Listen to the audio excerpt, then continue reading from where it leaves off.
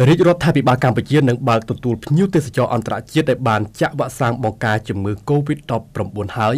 មកទស្សនាគោលដៅទេសចរនៃខេត្តសៀមរាបអង្គរនៅត្រីមាសទី4ឆ្នាំ2021ស្របពេលដែលការគ្រប់គ្រងសហគមន៍នៅខេត្តសៀមរាបអង្គរស្ថិតនៅក្នុងស្ថានភាពល្អប្រសើរឡើងវិញនេះបើតាមប្រសាសន៍របស់អាយដាមបណ្ឌិតថោងខុនរដ្ឋមន្ត្រីក្រសួងទេសចរដែលបានបញ្ជាក់កាលពីថ្ងៃទី7ខែមេសាឆ្នាំ2021 ឯកឧត្តមរដ្ឋមន្ត្រីក្រសួងទេសចរបានដឹងថាឯកឧត្តមបានស្នើសុំសម្ដេចតេជោហ៊ុនសែននាយករដ្ឋមន្ត្រីនៃព្រះរាជាណាចក្រកម្ពុជាក្នុងការពិចារណាបើកទទួលភ្ញៀវទេសចរអន្តរជាតិដែលបានចាក់វ៉ាក់សាំងបង្ការជំងឺ Covid-19 ហើយមកទេសនាគោលដៅទេសចរខេត្តសៀមរាបអង្គរនៅត្រីមាសទី4នៃឆ្នាំ2021ស្របពេលដែលការគ្រប់គ្រងសហគមន៍នៅខេត្តសៀមរាបអង្គរស្ថិតនៅក្នុងស្ថានភាពល្អប្រសើរព្រមជាមួយនឹងការជំរុញដំណើរការចាក់វ៉ាក់សាំងឲ្យបានលឿនជូនដល់មន្ត្រីរាជការនិងការជំរុញការចាក់វ៉ាក់សាំងជូនដល់មន្ត្រីបម្រើការងារក្នុងឧស្សាហកម្មទេសចរនិងផ្នែកឯកជននៅក្នុងវិស័យទេសចរនេះ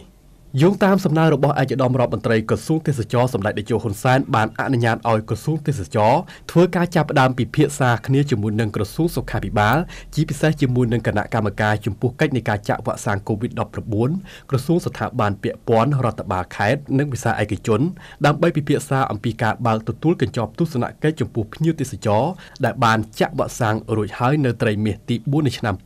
2021ឬពេលវេលាសមស្របណាមួយនៅពេលឆាប់ៗប្រមុខនេះ។ ឯកឧត្តមរដ្ឋមន្ត្រីបានបន្តទៀតថាខេត្តសៀមរាបអង្គរគឺជាគោលដៅទេសចរដ៏ចម្បងមួយដែលមានការគ្រប់គ្រងសហគមន៍បានល្អប្រសើរហើយនិងនៅពេលដែលអ្នកផ្ដល់សេវាទេសចរទាំងឡាយទទួលបានវ៉ាក់សាំងរួចហើយគួបផ្សំនឹងយុទ្ធនាការចាក់វ៉ាក់សាំងជូនដល់ពលរដ្ឋក្នុងគោលដៅនេះដំណើរការទៀតនោះវានឹងបង្ហាញបាននូវភាពជឿជាក់កក់ក្ដៅដល់ភ្ញៀវទេសចរហើយ។ ឯកឧត្តមបានបញ្ជាក់ទៀតថាកញ្ចប់ទស្សនកិច្ចនេះអាចមានការងារជាច្រើនដែលត្រូវពិភាក្សាដោយម៉ត់ចត់ក្នុងនោះរួមមានមួយគឺការបង្កើតជំនឿជឿជាក់ទុកចិត្តដល់ភ្ញៀវទេសចរពីរគឺគុណភាពសេវាកម្មនិងតម្លៃ3គឺការសម្រួលការធ្វើដំណើរតាមច្រកទ្វារអន្តរជាតិដែលត្រូវគោរពតាមគោលការណ៍សុខាភិបាលផង និងភាពងាយស្រួលផង។ ករណីនេះអាចចាប់ផ្ដើមពិភាក្សាគ្នាអំពីរបៀបកញ្ចប់ទស្សនកិច្ចរបស់ភ្ញៀវទេសចរដែលបានចាក់វ៉ាក់សាំងហើយមុនជាពិសេសសម្រាប់ភ្ញៀវទេសចរដែលបានធ្វើដំណើរតាមជើងហោះហើរត្រង់មិនមាន transit ឬពិចារណាតាមជើងហោះហើរពីប្រទេសជិតខាងផងដែរ